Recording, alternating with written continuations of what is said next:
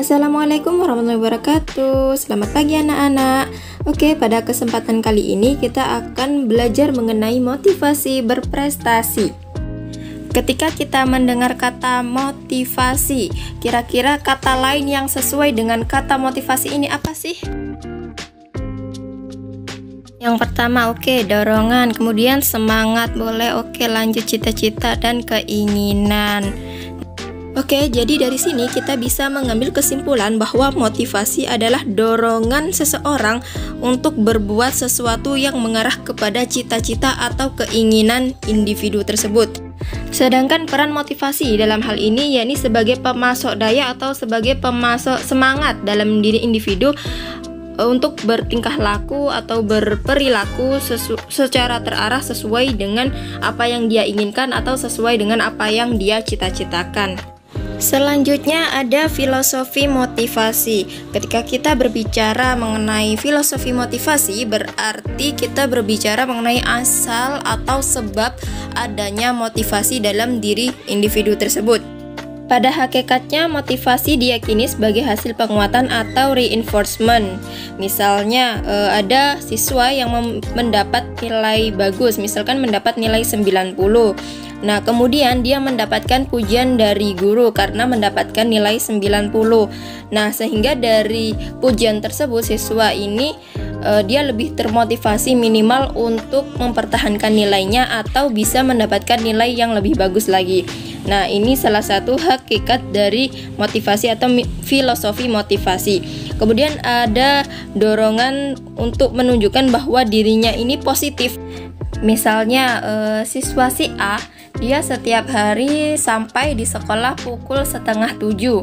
Nah, dia akan terus begitu, dia akan terus setiap hari sampai ke sekolah maksimal jam setengah tujuh agar tidak terlambat. Nah, di sini berarti si A ini menunjukkan bahwa dia ini rajin gitu dan seterusnya dia akan selalu rajin.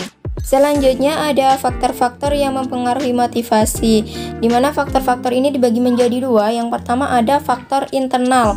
Nah, faktor internal ini uh, faktor yang berasal dari dalam individu itu sendiri. Misalkan berasal dari pikiran dia atau berasal dari hati nuraninya atau misalkan dari nafsunya. Misalkan dari nafsu ini seperti si individu ini lapar, kemudian ingin makan. Nah, itu adalah faktor internal. Yang kedua ada faktor eksternal. Nah, di mana faktor eksternal ini adalah faktor yang berasal dari luar individu tersebut. Misalkan dari lingkungan keluarga, lingkungan masyarakat, kemudian pendidikannya, agamanya, dan lain sebagainya. Oke, setelah kita kupas tuntas mengenai arti dari motivasi, saatnya kita berbicara mengenai motivasi berprestasi. Jadi, motivasi berprestasi adalah dorongan untuk berjuang, bekerja habis-habisan untuk mencapai kesuksesan.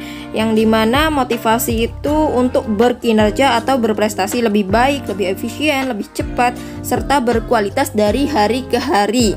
Nah, intinya yang dikatakan berprestasi adalah ketika hari ini lebih baik daripada hari esok dan hari hari esok lebih baik daripada hari ini, maka individu tersebut sudah dikatakan berprestasi, baik itu dalam pelajaran, baik itu dalam uh, kehidupan sehari-hari.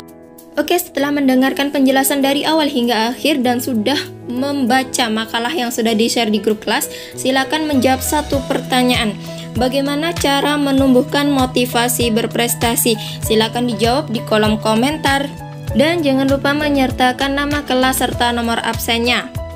Oke, sekian untuk materi kali ini. Jika ada yang perlu didiskusikan, silakan tanyakan di grup kelas masing-masing. Thanks for your attention. Sukses itu bukan karena nasib mujur, tetapi hasil perjuangan. Tetap berusaha, berdoa, ikhtiar, insya Allah. Semangat! Wassalamualaikum warahmatullahi wabarakatuh.